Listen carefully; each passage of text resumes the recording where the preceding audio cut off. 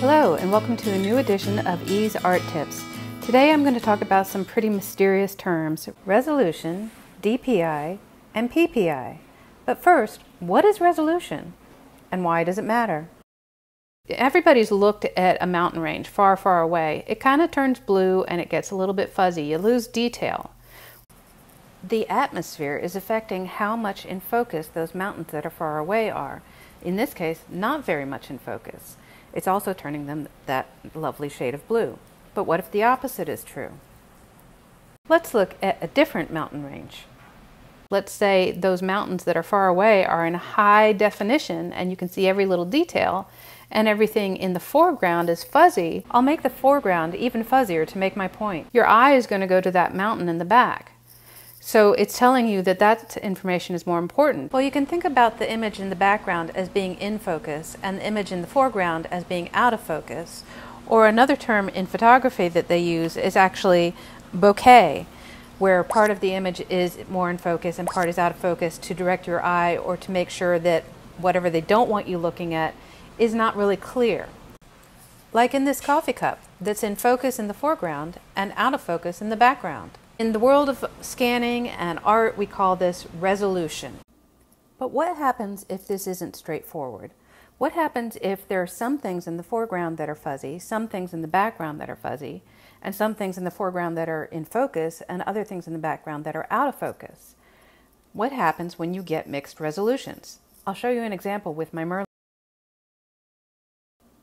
Having things in focus in the background or having things in focus in the foreground tells us what we're supposed to be looking at. Focus tells us where things belong in space. What becomes problematic in illustrations is when somebody doesn't understand what resolution is and has fuzzy resolution items mixed in with high resolution items so that you can't tell what's supposed to be going back and what's supposed to be coming forward. For instance, I've messed up a few things in my Merlin image here. You can see his hat is in super high resolution, which doesn't look like it goes with the illustration anymore. The crow sitting on Merlin's shoulder is also somewhat fuzzy. If you look at his face, his face is in resolution, but the crow isn't. So now we're wondering, well, what, what's in front and what's in back? So when you mix up resolutions, it makes for a very confusing image that your, your viewer can't understand. And I've said it before, confusion is a bad work word in artwork. If your viewer is confused, the image isn't working. That's why it's so important to make sure you understand resolution and you put the various resolutions in the right places. So how do you know if something's going to be in the proper resolution or not? You check out its DPI. What is DPI and PPI? Well, most of you will have something on your computer that uh, is either called image capture or some version of a scanning software on your computer. Mine is hooked up to a Canon TS8300. You might have to actually hook this up, but nowadays these are pretty um, easy to do. You just click on what you see come available and it will set it up for you. What you'll get when you do that is this interface right here. Now you can see that there's nothing there right now. So I'm going to go to one thing because I want to have a little bit more control than just these basic controls that are showing right now. So I'll say show details. And you can say, see overview scan is automatically going ahead and just giving me a preview of what's on the scanner. So this is my Merlin image that I did in uh, pencil a while back. So we're going to uh, just work with him for a little while to see what we're doing. Now let's look over in the right column because there's several different settings that we can choose. You can choose color, black and white, or text. They're pretty straightforward. If you're going to be uh, scanning text, text is set up to be able to tell the thicks and thins of an actual font or typeface the best. So that's what you would want to do for an all text document. Black and white is going to be a smaller file. There's not as much information for it to save, but that can be good if you're doing something that's just a really dumped down image that you don't need it to be high resolution. It's not going to a printer. It's just something that you're quickly sharing with somebody. Now, if you're doing an image like what you're looking at right now, even though it's in black and white, I would still choose color because there's nuances in the grays. So I'm going to choose color. And here's the big mysterious term we're talking about today, resolution. Right now it's set to 75, but let's talk about what is resolution. Right now it says DPI. Well, DPI is dots per inch. That's from the old days of newspapers when they would literally print a yellow dot, a red dot, a blue dot, and a black dot to create the colors that you would see on a newspaper. So you can only fit so many dots in an inch. And so DPI, dots per inch, became the value of how many dots you needed for the person looking at the image to be able to decipher what they were looking at. Well, nowadays, it's not just dots per inch, it's PPI, pixels per inch, because in the digital world, pixels are the equivalent to dots. So whether you see DPI or PPI, it's basically the same thing. But D stands for dots, P stands for pixels. Now, the other thing to know is what are the standard DPIs for you to look at when you're in either a digital environment or in a print environment. Now, most print files that you look at when you're looking at a magazine or a book or you're looking at a photograph, that's going to be 300 DPI. And unfortunately, these are just numbers you've just got to remember. So you can see that if you click on the drop-down menu, you get several different selections. 300 is what you want to use if it's going to be for print, for everybody to be able to see it. Now, it's different in a digital environment. When you're looking at a screen, you don't need as much information. So for, say, a JPEG or a GIF, you actually can use 75. Actually, 72 was one of the main, the first numbers that came out, and then later 96, which I know this is jumping around and it's like, where did they come up with these random numbers? I'm not really sure actually where they came from, and I don't know why this one is saying 75, but 75 is a good middle ground number, so that's fine. So if all I was doing was scanning this to use online, say on my website or some such, I would probably choose 75. Most of the images that you see online are going to be about 72 DPI. So what about all these other numbers? When would you use those?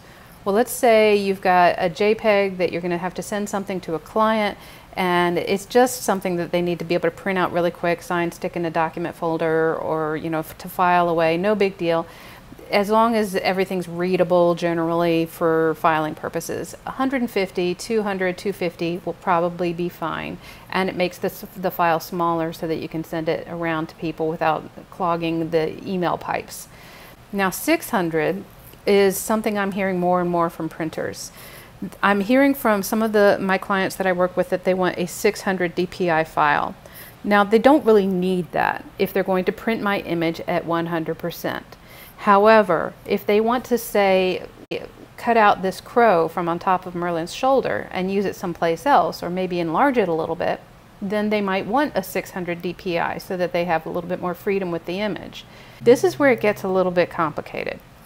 So let's say I drew something really small. And I do this a lot because you can end up with a really nice line quality if you make an image small and then you blow it up so that you get that line quality.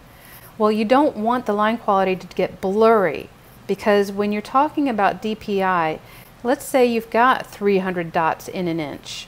When you enlarge that image, there's still only 300 dots in, in that whole image even if you've enlarged it to say five inches, there's still only 300 dots. That's when you get a blurry image. And you've probably all seen that on the internet. Um, so how to avoid that is you scan it at a much higher DPI. So let's say I've got an image that is five inches wide. If I'm going to want to print it at, let's say, 10 inches wide, I might scan it at 600 dpi because by the time it enlarges, it will be back to 300 dpi because you have multiplied it by 2. It's really tricky. Let's look at 1200 dpi. Let's say I've got a 5 inch image and I'm going to scan it, scan it at 1200 because I want it to be 20 inches wide. So if I want it to be 20 inches wide, I'm going to scan that image, that very small 5 inch image, at 1200 DPI, DPI so that by the time I enlarge it to 20 inches, it's back to 300 DPI.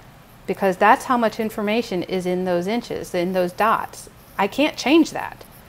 So all I can do is try to tell the scanner that I need more information. I need more dots. So in that five inch square, I don't want 300 dots in each inch. I want 1200 dots in each inch so that by the time I get larger, I'm back to 300 dots in each inch. That means my resolution is going to stay sound. It's going to still be readable when it's printed out at 300 dpi. It does get tricky. It's a little bit hard to get your head around this, but it's something that in graphic design and the world of illustration and print, you just have to memorize and understand, and you will get used to this. Just remember, if size goes up, resolution goes down. Size goes up, DPI goes down. So for this image, I'm going to, this is an, about an 8.5 by 11, and I do, am going to just keep it like this. All right, so I clicked and dragged to get my selection area, and I'm going to scan it at 300 dpi in color. And you can see, yeah, that's about um, 8 inches by 10 and a quarter or so. I'm going to save it just to my desktop. I'm going to call it Merlin. And here's the other thing what type of file are you going to save it as? Now right now it's set to a JPEG. I have a system where I save different types of scans to different type of suffixes so that I know what they are. Now most printers these days, an actual um, offset printer is going to ask for either a PDF or a TIFF. I used to call a TIFF a can't mess with it file. Now that's no longer true because you can mess with pretty much anything in a digital environment. But back when the TIFF first came out, you really couldn't. Once you scanned something as a TIFF, that was it. That was the image for good. So I scan everything as a TIFF, which means that every time I see a TIFF suffix, suffix on a file, I know that's a scan. If I'm going to send it to a printer, I might save it as a PDF. One, that's what they want. Two, that tells me that's a print ready file. Now you've got a lot of other options in here. So we all probably have heard of JPEG. JPEG was the first file format that was made for online environments. So that is great for the web. Now you don't want to send a JPEG to a printer. PNG and JPEG, you got to think about those as being web environment. So if I have a, a, file that has a JPEG on the end of it, I know that's for the web. Now the PNG and the GIF come in as slightly different. GIFs you have become a term for animation on the web. So if you've got a quick animation that's going on a cycle over and over and over again, that's a GIF. That wasn't what they originally were. The original uh, GIF was the first type of online file that could retain transparency. So let's say you had a logo and you wanted to put it against a colored background or an image background, you would save it as a GIF so that that background would drop out and you wouldn't have a white square around it. Well, nowadays GIFs mean that animation. And now the PNG is also transparent. So that has become kind of what the GIF used to be in that, again, if you want to save an image with a transparent background, you're probably going to save it as a PNG. So know that if you save your file as either a JPEG, a PNG, or a GIF, it's probably going to be only online and that's where you're going to be using it. Now HEIC, that's another one I'm seeing more of. That is the format that a lot of phones will take images with. So a lot of photos that are coming from phones are now coming with this HEIC suffix. My uh, system that we use at my university, Blackboard, does not like HEIC files. So a lot of times I actually have to go to a lot of trouble to open those to be able to view them or they're turned around or whatever. So I'm asking my students not to use HEIC files when they send them to me as finals. Um, but of course, in our COVID environment, you know, a lot of um, students have limitations with technology. So HEIC is becoming a little bit more mainstream, but it's still a fairly new term. And when they first started coming in, I was like, what is this HEIC? I'd never seen it before. Now I'm seeing a lot of it. BMP, BMP is bitmapped. That's more of an old term that we would use for newspaper printing. You're probably not going to hit a whole lot of needs for BMP, so we're not going to spend a whole lot of time on that. But get to know your suffixes, arrange your files using the suffixes, use them to your advantage so that you know what your file types are. Um, you could use any of them for any of the purposes I mentioned, but it really does help to keep you organized if you actually use them for uh, specific purposes. Anyway, so that tells you about um, resolution and suffixes. So if this file is something that I want to be high resolution that might go to a printer, I'm going to do 300 dpi at a TIFF and I'm not going to do any color correction because I want to do that myself when I go into Photoshop. I don't want my scanner doing this for me. Now that might change if say you don't have Photoshop or you don't have a really fancy image editing program. You might want to do some of your image correction here. And you could do uh, things like contrast, brightness, tint, uh, saturation, say it's in color, you want it to be really bright, you could do things like that. But I'm not going to do that for this one. So all of that said, everything's selected. I've got my DPI, I've got my file name, I've got where it's going, and I've got my suffix determined. I've also got it in color, even though it's a black and white image. I'm going to hit scan. This takes just a minute. So while it's scanning, I want to talk to you also about photography because you might not have a scanner. You might have to take a photograph and turn that file into a JPEG or a TIFF or a PDF. Now photography is a whole nother beastie, but I can tell you the down and dirty way to do it is just make sure you have at least two light sources shining on your artwork from two different sides and that you've got your artwork on a nice flat surface. Uh, daylight can really help to be one of your light sources and then put two other light sources with it. Just make sure you're not getting any cast shadows from anything. Um, and you can get a pretty decent photograph. Make sure your phone is upright, that you're getting a vertical image, and try to crop it as well as you can just by eyeballing it. That's a good way to get an image with a photograph if you must. So we can see, you actually you can't see, but I can see the image has popped up on my desktop as an actual file, merlin.tiff, which means that my scanning has been completed and successful. So that's good. So hopefully this will give you a little bit of information about how to do a proper scan, how to deal with resolution, and how to deal with um, file suffixes. And I hope this has been helpful. So I will see you again next time on E's Art Tips. Thank you. Bye-bye.